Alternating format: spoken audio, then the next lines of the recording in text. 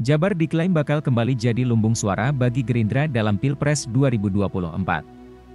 Dalam dua kali Pilpres, 2014 dan 2019, di Jabar, Prabowo selalu meraih suara terbanyak di atas 50%. Wakil Ketua Umum DPP Gerindra, Fadli Zon mengatakan, hal itu berkaca pada pemilu 2019, di mana Gerindra berhasil mendulang banyak suara di Jabar.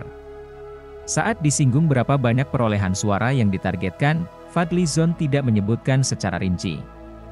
Ia hanya memastikan kader partai di tingkat nasional, provinsi hingga ke kecamatan akan berjuang maksimal untuk meraih suara sebanyak-banyaknya di Jabar. Kali ini, Gerindra bisa jadi kembali meraih suara terbanyak di Pilpres 2024. Salah satunya, bergabungnya kader potensial seperti Deddy Mulyadi. Seperti sudah diberitakan, Deddy Mulyadi mundur dari Golkar dan kini resmi jadi kader Gerindra. Selain Deddy Mulyadi, ada Iwan Bule ex Ketum PSSI yang juga jadi kader Gerindra.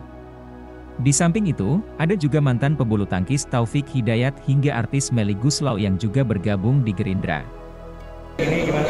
Uh, ya hari ini uh, tentu uh, di bawah kepemimpinan Ketua DPD Pak Brigjen Taufik, Alhamdulillah kita telah melaksanakan halal bihalal sekaligus konsolidasi pemenangan Bapak Haji Prabowo Subianto di dalam Pilpres dan juga Pileg di 2024 ya.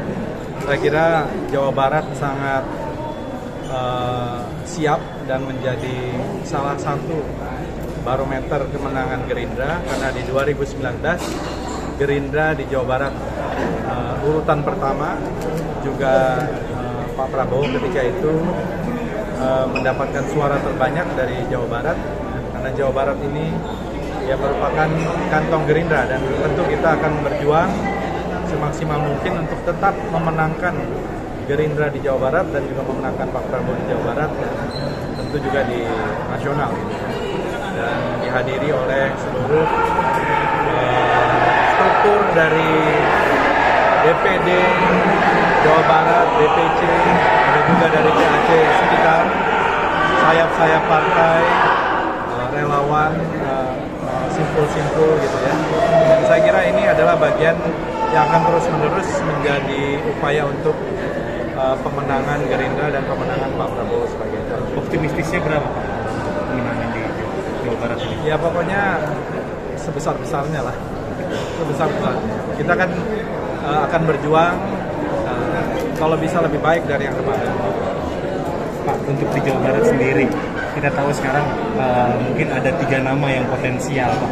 Terlebih ada yang baru masuk. Uh, kalau mungkin yang paling potensial Pak Pak Jenderal, belum lagi ditambah Pak Dede Mulyadi, ditambah lagi Pak Iwan Bule. Ini untuk Jabar sendiri, arahan dan nah, ini kita serahkan semuanya kepada Pak Prabowo nanti. Tapi konsentrasi kita sekarang adalah pileg dan pilpres dulu.